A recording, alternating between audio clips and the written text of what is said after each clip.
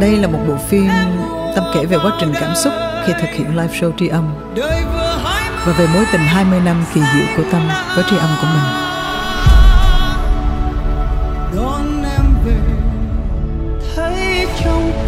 Welcome tất cả các bạn đến với Tri âm. Đối với Tâm, âm nhạc đến với mình nó như là hơi thở.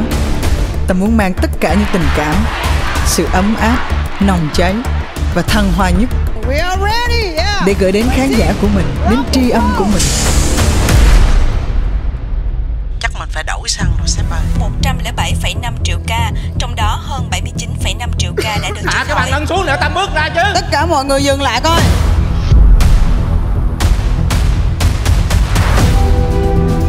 Tâm nghĩ rằng là tất cả mọi chuyện có thể trước đó nó sẽ không đúng.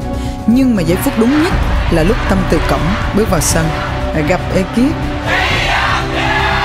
Xong rồi bước lên một nâng và bước ra sân khấu.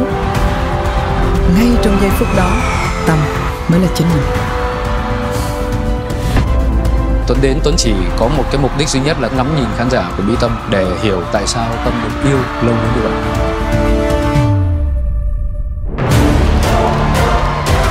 Có những thứ không thể nào lấy lại được Nhưng mà thời gian thì chúng ta có thể lấy lại được Bằng live show tri